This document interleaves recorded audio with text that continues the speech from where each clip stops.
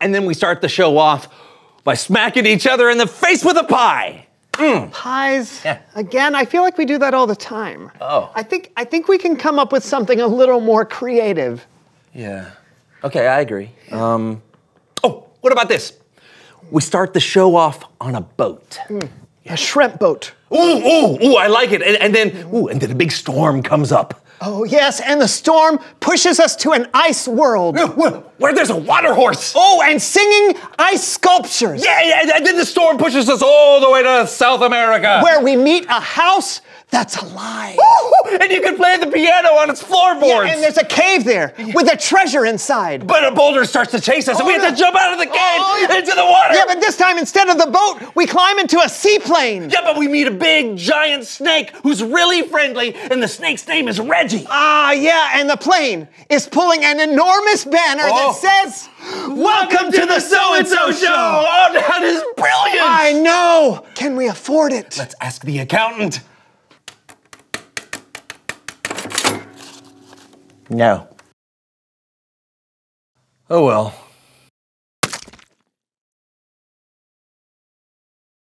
Yeah. That works.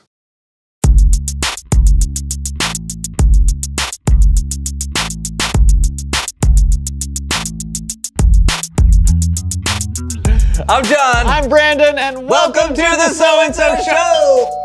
Oh, oh, I wonder if that's uh, the delivery. A delivery? Yeah, yeah, yeah. It arrived early, man. What, what is it? No, it's it's it's some new shells from IKEA. Oh. Yeah, yeah. Here, Okay. help me out. Help me get them. Yeah, hold on a second. Let me make some room. All right. Oh yeah. Oh great, great idea. Thank you. All right, here we go. All right, here we go. Whoa, that's big. It is big. Yeah, they're gonna be great. All right. Oh, this is heavy. All right. Oh, Okay. man. It's okay. We got it. We got it. We're strong. Yeah. Okay. Can you lift it a little higher? I got to get under it. That's it. That's all I got.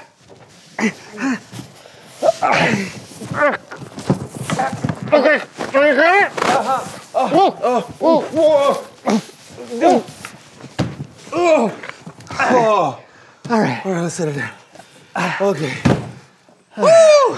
Okay, hopefully that was the hard part. Usually these things are pretty easy to put together. What are these shelves for? well, we got so much stuff around here, I just thought uh, we could use a little organization. You felt like we needed to be more organized? what? Is there a rule that says I can't be ridiculous and organized? I, no, I like it. Let's do it. Okay, great. Here we go. Come on. Here we go. Right. Whoa, okay. Oh, wow. Okay. Okay. Uh, uh, here, hold your hands out. Here. My hands up. Yeah, yeah. Here. What are you doing? Nothing. I'm just I'm taking the pieces out. All right. Isn't there like an order you're supposed to do this in? What do the instructions say? Uh, I don't see any instructions. What? There's really no instructions? I, I guess they I guess they forgot to put them in, man. Oh, But no worries, you and I are two creative people, right? yeah. Well, I wouldn't say woodworking. is And we both have God-given talents and gifts. Hey, You're right. Yeah. We have a problem, No instructions. and we're gonna use our creativity to figure it out. yes, we are. Cue the building montage.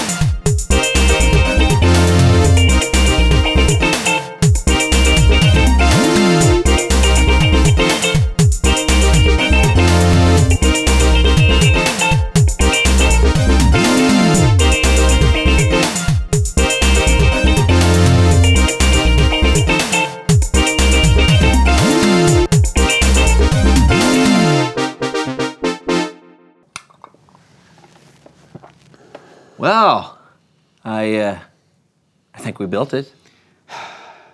We certainly built something We solved one problem. and created another. Should we see what Kellen has to say? I think so. It's Bible story time with Kellen.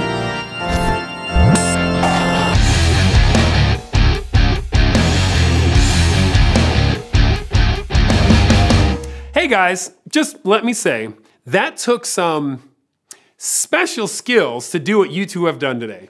Thanks. And it's going to take even more to get us out of here. You know, this kind of reminds me of today's story.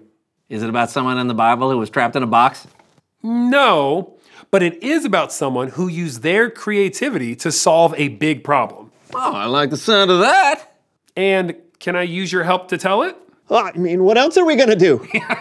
Great. It's time for Human Head Puppet Theater. Today's story is about Joseph, someone who had an incredibly interesting life. And you can read all about his story in the book of Genesis. But very quickly, Joseph was one of 12 brothers, and he, he was special. God gave Joseph the ability to remember and understand dreams. Now, because of that, Joseph's brothers were jealous of him, so much so that they sold him into slavery in Egypt. After that, Joseph was thrown into prison. And while he was in prison, Joseph interpreted the dreams of two Egyptian king's servants, the baker and the wine taster. And that's where today's story begins. The Egyptian king, or Pharaoh, was sleeping one night, and he had a pretty interesting dream. Oh, oh, look! Ha Those seven healthy cows. they look so happy. But then seven other cows showed up. Oh, look! Ew. They were skinny and ugly. Hey! That's what it says. It also says that the skinny cows devoured the larger, healthier cows. Get in my belly. Come back here, you healthy cows. Then Pharaoh woke up. Oh, what a nightmare! no more chili before bed. Oh, I'm still so sleepy. But I don't want to fall back to sleep. Then he had another dream where seven healthy stalks of grain were consumed by seven dried up stalks of grain. This, of course, upset the Pharaoh. So the next morning, he asked all of his advisors all about his dreams. And then the dried up grain swallowed up the healthy grain.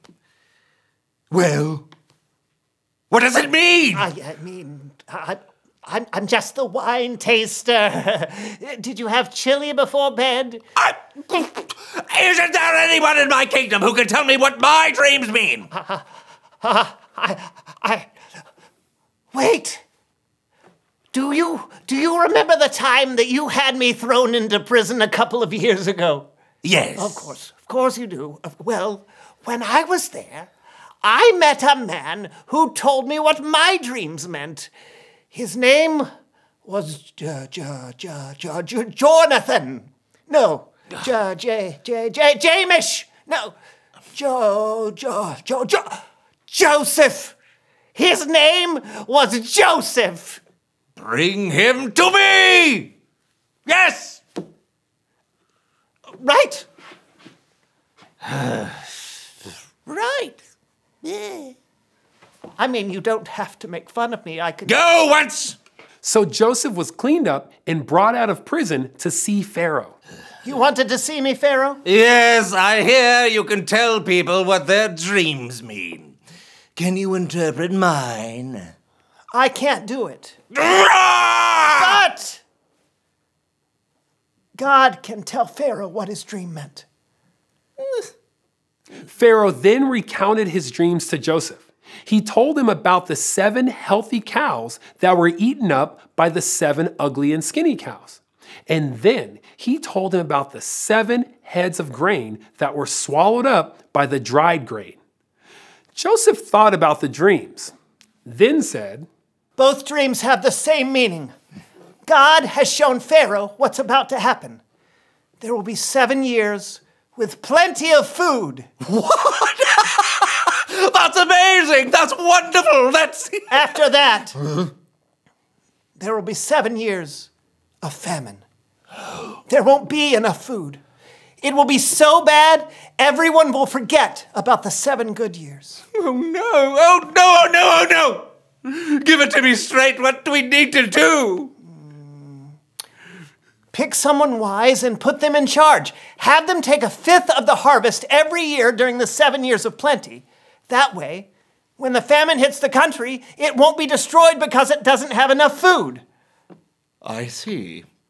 We will do what you say because the Spirit of God is obviously with you. Oh, and BT Dubs, you're in charge because God has made all this known to you.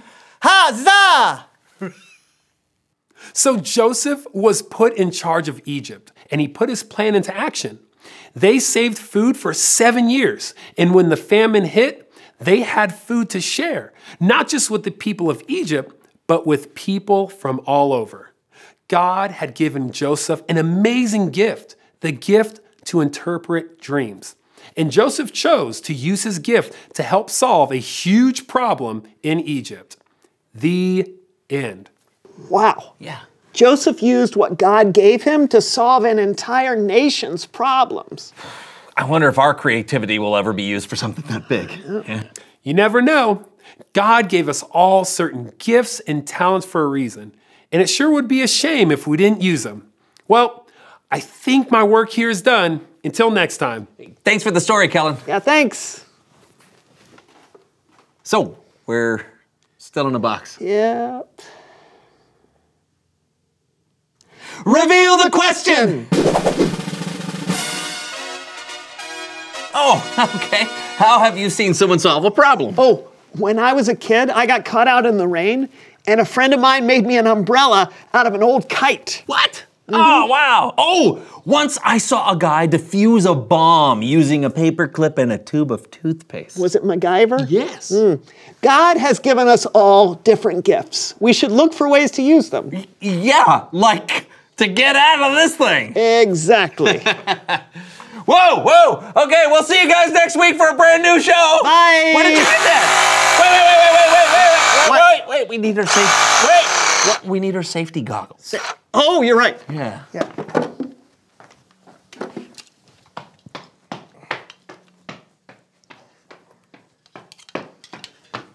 Ah, there you go. Thank you.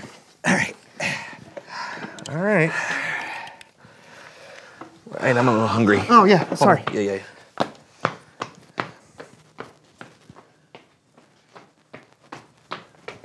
Oh yeah, that's great. Oh, thank you very much. Yeah, yeah. Ooh, that's good. All right, let's get out of this thing. All right, wait, wait, wait, wait, wait. You need any uh, butter or anything like that? Oh, yeah. Do you mind? No, no, no. Yeah, it's in the basement. We're in the basement. No, below. Oh, the oh the box's basement. How long they had to hold this? I don't know, they haven't shot yet. I don't know. Did he say cut? I don't know. Did he say cut? I'm drilling on myself. You're drilling? Yeah. Uh, I'll, I'll try to light it up. Okay, bye. Thank you. Yeah, yeah. Still going? I'm going crazy.